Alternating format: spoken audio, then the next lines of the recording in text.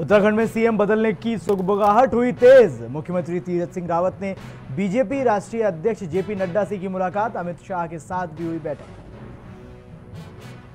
उत्तराखंड के सोमेश पवार ने बनाया कीर्तिमान। सतोपंत की साइकिल से पूरी की 50 किलोमीटर की दूरी। बीजेपी नेत्री ने अपनी ही पार्टी के विधायक पर लगाया रेप का आरोप। पुलिस ने कोर्ट के आदेश के बाद दर्ज किया मुकदमा। जम्मू कश्मीर के पुलवामा में आतंकियों के साथ सुरक्षा बलों की मुठभेड़। जवानों ने पाँच आतंकियों को किया ढेर, एक जवान शहीद। देश के 12 राज्यों में डेल्टा ए प्लस वेरिएंट से संक्रमण के छप्पन मामले आए सामने। सरकार ने कहा, कोरोना नियमों के पालन में न करें लापरवाही।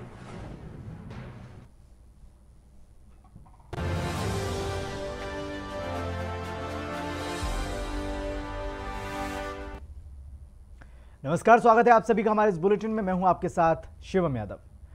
बीजेपी की महिला नेता ने थाना बहादराबाद में बीजेपी विधायक सुरेश राठौड़ के खिलाफ बलात्कार का मुकदमा दर्ज कराया है। पुलिस ने कोर्ट के आदेश के बाद विधायक सुरेश राठौड़ के खिलाफ आईपीसी की धारा 376 के तहत मुकदमा दर्ज किया है। आपको बता दें कि कुछ दिन पहले विधायक ने सुरेखा और उसके दो अन्य पत्रकार साथियों पर ब्लैकमेल करने का आरोप लगाते हुए ज्वालापुर कोतवाली में मुकदमा दर्ज कराया था। विधायक ने महिला पर 36 लाख रुपए रंगदारी मांगने का आरोप लगाया था, जिसमें ज्वालापुर पुलिस ने महिला को गिरफ़्तार कर जेल भेज दिया था। वहीं बीजेपी विधायक सुरेश राठौर का कहना है कि ये मेरे खिलाफ राजनीतिक षड्यंत्र है। मेरे विरोधियों ने साजिश रचकर मेरे खिलाफ ये काम किया है। इस कथित महिला नेता और इसके साथियों के खिलाफ मैंने पहले ही ज्वालापुर कोतवाली में रंगदाली का मुकदमा दर्ज कराया था। स्पष्ट कहना चाहता हूँ और मांग करता हूँ सरकार से कि मेरी जान माल को खतरा में मैंने पहले भी अपनी सुरक्षा की दृष्टि से बात की थी। मैं स्पष्ट करना चाहता हूँ, जो लोग रंगदारी के केस में जेल गए और झूठा झूठा षड्यंत्र करके, अदालत को गुमराह करके, ना उन्होंने अदालत को ये बताया कि वो बेल पर छूट कर आए हैं, वो रंगदारी के केस में जेल गए हैं और एक तीन में मेरे विरुद्ध झूठा मुकदमा दर्ज कराया है। मैं पुलिस प्रशासन से भी अपील करता हूँ कि इस केस की पूरी जाँच करें।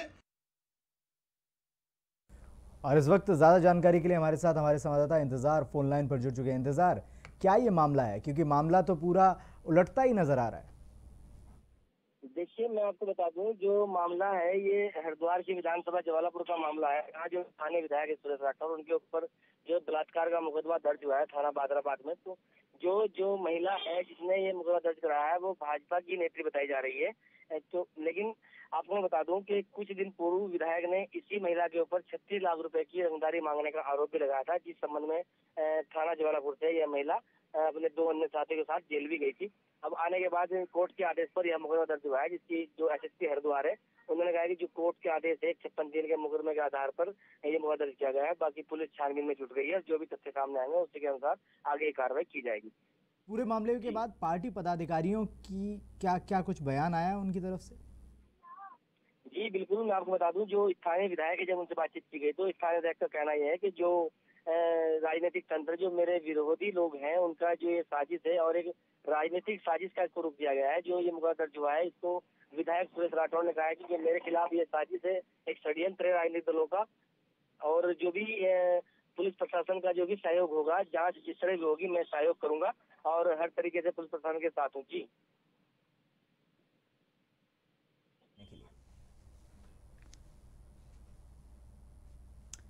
वहीं भाजपा सरकार की योजनाओं से त्रस्त होकर आम जनता के पक्ष में कांग्रेस कार्यकर्ताओं ने प्रदर्शन किया। ये बात लालकुआ की है। कांग्रेस ने प्रदर्शन के दौरान कहा कि बीजेपी अपना वादा निभाए और बिंदु खत्ता को राजस्व गाँव बनाए।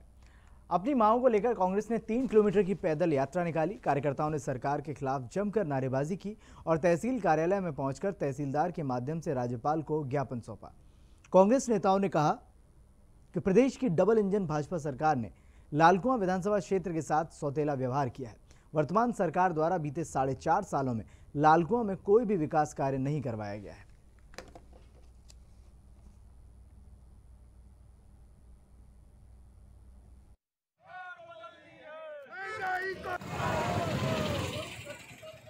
देखिए, आज लालकुआ विधानसभा में पूर्व में 2017 में जब चुनाव हुआ था, भाजपा ने कहा था कि हम बिंदु खत्ता को राजस्व गाँव बनाएँगे।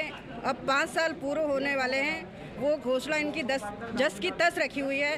उसके बाद कांग्रेस समय में जितने भी विकास कार्य हुए, चाहे गौलापार का अंतर्राज्यीय बस अड्डा हो, अंतर्राष्ट्रीय जू हो, अंतर्राज्यीय स्टेडियम जिसमें खेल होने थे हमारे युवा भाइयों के, उसमें इस समय इतनी बड़ी घास जम जम चुकी है कि उसकी सफ़ाई तक का नहीं कर पा रही है सकाई उसके बाद इस इस बार दूसरी कोविड की लहर में स्वास्थ्य केंद्र जितने वहीं कोरोना काल के बीच पंचायत चुनाव की सुगबुगाहट अब तेज हो गई है। हालाँकि अभी भी प्रदेश भर में रियायतों के साथ कोविड कर्फ्यू लगा हुआ है। पंचायत चुनावों को लेकर वोटर लिस्ट संशोधित करने का कार्य किया जा रहा है। हरिद्वार के नारसन ब्लॉक में कुछ ग्रामीणों ने वोटर लिस्ट से नाम गायब होने की शिकायत की है। ग्रामीणों का कहना है कि जिला पंचायत चुनाव से पहले उनके नाम मतदान सूची से गायब है। ऐसे में उनके मतदान का अधिकार उनसे छीना जा रहा है, जो मानवाधिकार का हनन भी है।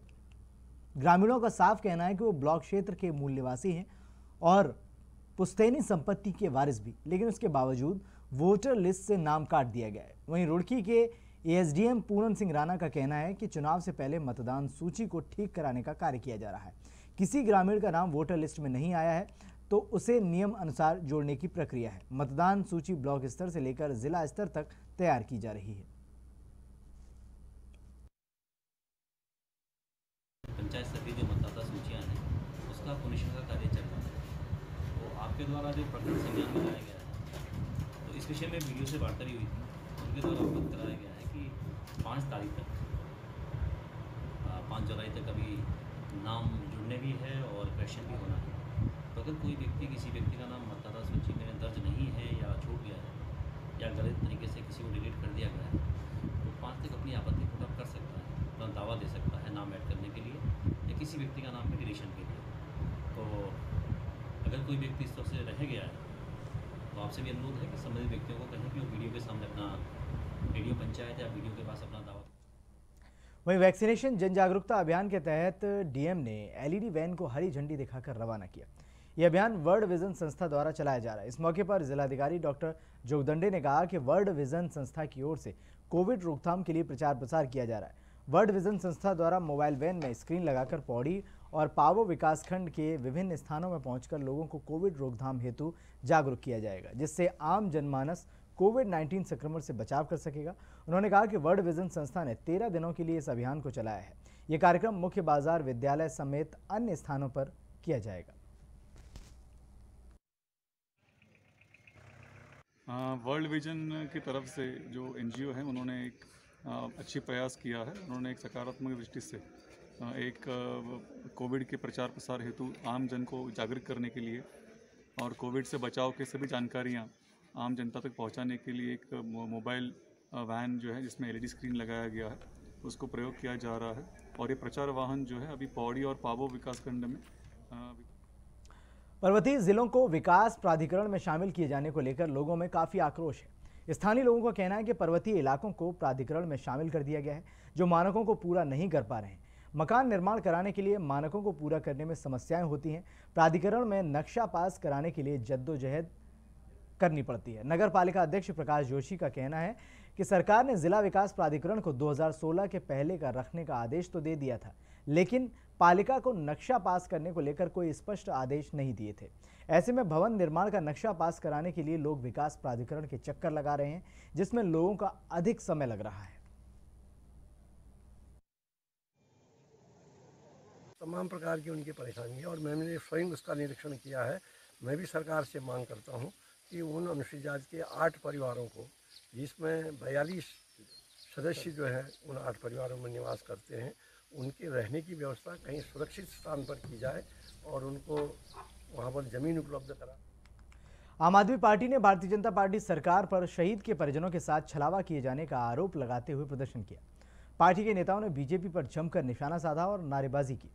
आम आदमी पार्टी के जिला सचिव इंद्रजीत सिंह ने बताया कि उत्तराखंड राज्य निर्माण आंदोलन में हमारे शहीदों और आंदोलनकारियों का बलिदान अविस्मरणीय रहा है। लेकिन भाजपा ने आंदोलनकारियों के अधिकारों पर लगातार चोट की है।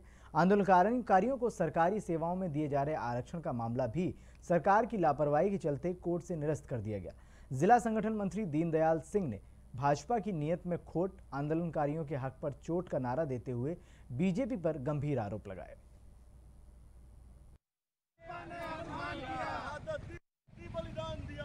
उत्तराखंड में आंदोलनकारी थे, उनकी हक पर जो भाजपा ने आज चोट बचाई है, ना पैरवाई करके कोर्ट के अंदर पैरवाई नहीं करी और उनके हाथ पे चोट पहुंचाई है। उसको लेकर आम आदमी पार्टी आंदोलनकारियों के सम्मान में आज रोड पे है और आगे भी संघर्ष करने के लिए रोड पे आएगी। तो बाजपुर में आम आदमी पार्टी के कार्यकर्ताओं ने सरकार के खिलाफ जोरदार प्रदर्शन किया और साफ़ तौर पर यह कहा है कि शहीदों के परिवारों के साथ छलावा किया गया है।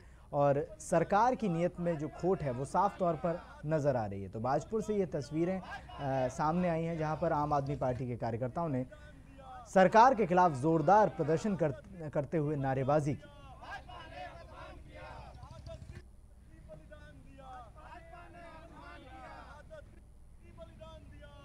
और इस वक्त हमारे साथ ज़्यादा जानकारी के लिए हमारे संवाददाता गुलबेज सीधे फ़ोन लाइन पर जुड़ चुके हैं। गुलबेज क्या कुछ जानकारी है? इसमें आम आदमी पार्टी के कार्यकर्ता साफ़ तौर पर काफ़ी आक्रोशित नज़र आ रहे हैं।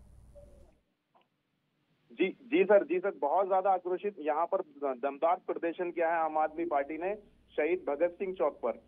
बाजपुर के शहीद भगत सिंह चौक पर आम आदमी पार्टी के कार्यकर्ता इकट्ठा हुए और यहाँ पर उन्होंने सरकार के खिलाफ जोरदार नारेबाजी की है।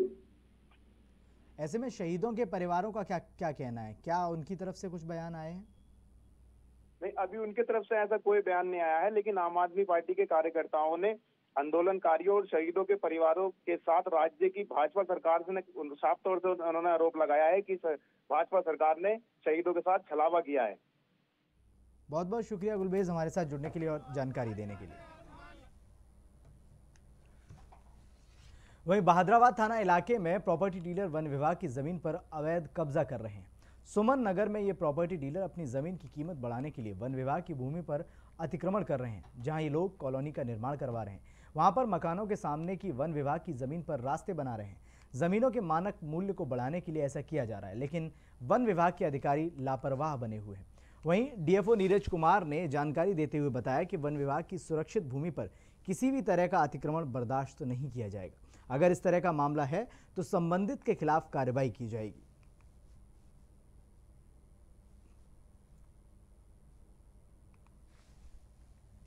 वहीं पांडुकेश्वर निवासी सोमेश पवार सतोपंथ के अति दुर्गम पैदल मार्ग पर साइकिल से यात्रा कर वापस लौट आए। उन्होंने बद्रीनाथ से सतोपंथ तक 50 किलोमीटर की यात्रा पाँच दिन में पूरी की।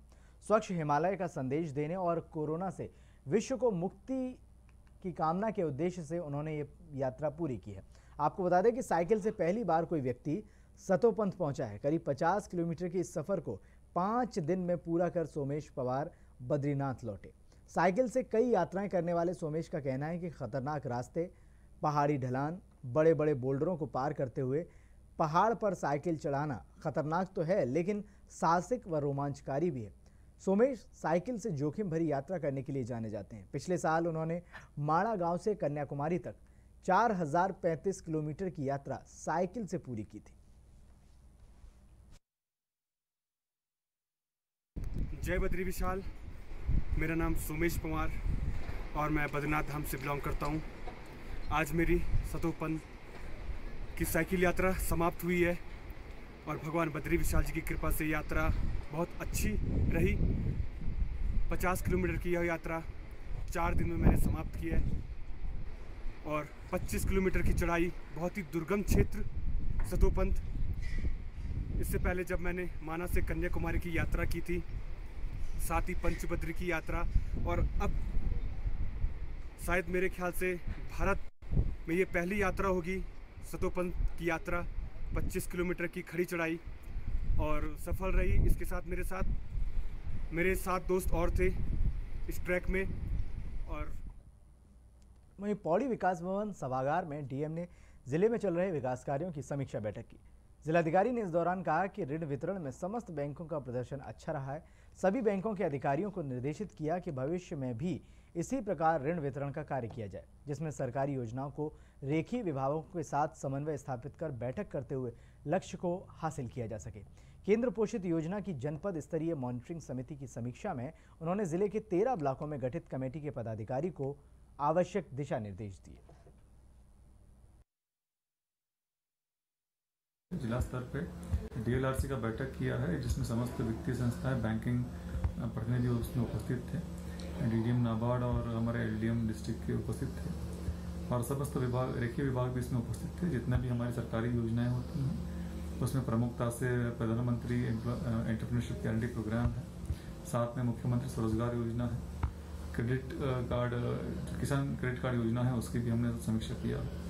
समस्त बैंक का प्रदर्शन जो है अपेक्षा के अनुरूप रहा है इक्का दुक्का योजनाओं में, जिन बैंक का प्रदर्शन में कुछ वहीं चमोली ज़िले में वन प्रभाग के उपक्रम केदारनाथ रेंज, बद्रीनाथ रेंज और अलकनंदा रेंज के द्वारा जंगलों में अधिक से अधिक पौधारोपण किए जा रहे हैं। केदारनाथ वन प्रभाग रेंज कार्यालय के नज़दीक उच्च तकनीक पौधशाला में तैयार किए गए पौधों को अलग अलग जगहों पर लगाया जा रहा है। केदारनाथ रेंज के वन क्षेत्राधिकारी आरती मैठाणी ने बताया कि वन प्रभाग के प्रभागीय वन अधिकारी कार्यालय में उच्च तकनीक पौधशाला में पौधे तैयार किए गए हैं। डीएफओ अमित कंवर ने बताया कि जो लोग कोरोना से ठीक हुए हैं, उन्हें इस कार्यक्रम में विशेष तौर पर बुलाया गया है। उनके द्वारा पौधे भी लगाए गए हैं और एक पौधा उनको घर पर लगाने के लिए भी दिया गया है। बिहार के धनपुर रेंज में आज हमने भटनगर में जो है वन महोत्सव मनाया। इस बार हमने जो है, जो कोरोना से पीड़ित थे, जो लोग उससे स्वस्थ हुए हैं, उन लोगों से वृक्षारोपण करवाया है। क्योंकि वो लोग जानते हैं कि ऑक्सीजन की क्या महत्व है। और मुझे खुशी इस बात की कि लोगों ने जो है, बढ़ चढ़कर जो है, इस महोत्सव में जो है, हिस्सा लिया और सभी ने जो है, उन वृक्षों को जो लगाए हैं, उनको बचाने की जो है, ज़िम्मेदारी ली, जो कि वहीं हरिद्वार के बीएचईएल क्षेत्र में उस समय हड़कम मच गया, जब एक सांप स्कूटी में घुस गया, जिसका वीडियो सोशल मीडिया पर तेज़ी के साथ वायरल हो रहा है। वायरल वीडियो में ब्लैक कलर की स्कूटी से खतरनाक कोबरा सांप को वन विभाग की टीम के द्वारा रेस्क्यू किया जाता हुआ देखा जा सकता है। बताया जा रहा है कि एक शख्स स्कूटी से जा रहा था, तभी उसे सांप के बारे में पता चला। उसने स्कूटी रोकी तो स्कूटी में सांप दिखाई दिया। मौके पर मौजूद लोगों ने वन विभाग की टीम को मामले की जानकारी दी, जिसके बाद वन विभाग की टीम ने पहुंचकर सांप को स्कूटी से बाहर निकाला।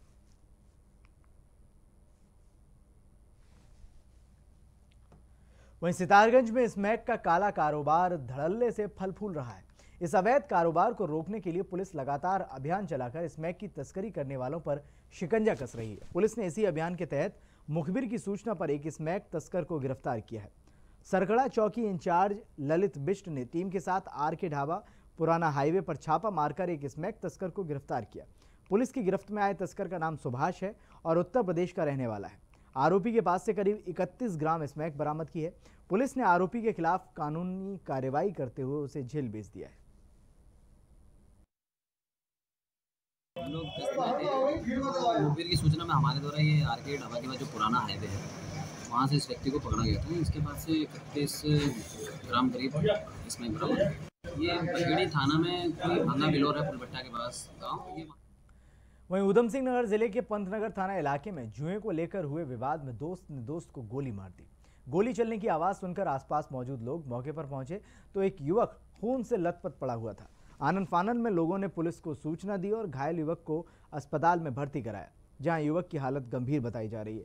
आपको बता दें कि पूरा मामला नगला किच्छा मार्ग पर स्थित प्राग फार्म का है, जहाँ पर कुछ लोग जुआ खेल रहे थे। तभी हार जीत के पैसे को लेकर विवाद शुरू हो गया और शिशुपाल नाम के शख्स ने मुकेश सिंह की को गोली मार दी। घटना की सूचना मिलते ही मौके पर पहुँची पुलिस ने परिजनों की तहरीर पर मुकदमा दर्ज कर जाँच शुरू कर दी है। आरोपी गोली मारने के बाद फरार चल रहा है, जिसकी गिरफ्तारी के लिए पुलिस लगातार दबिश भी दे रही है। फ़िलहाल पीड़ित की हालत गंभीर बनी हुई है।